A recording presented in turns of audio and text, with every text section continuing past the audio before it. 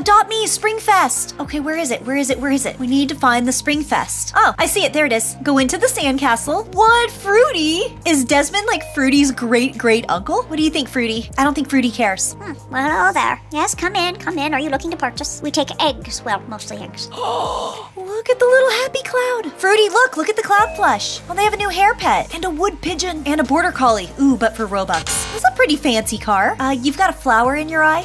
that necklace is cute. Rah, there's more to come. So something else is going to open up in six days. And what's back here? I don't know. We have to wait 13 days for this one. And Claudia says we have to wait six days here. I'll plow my way in. We need to turn this hare into a, like a really chocolatey bunny. Grab the chocolate hairspray can and spray. There we go. Is that working?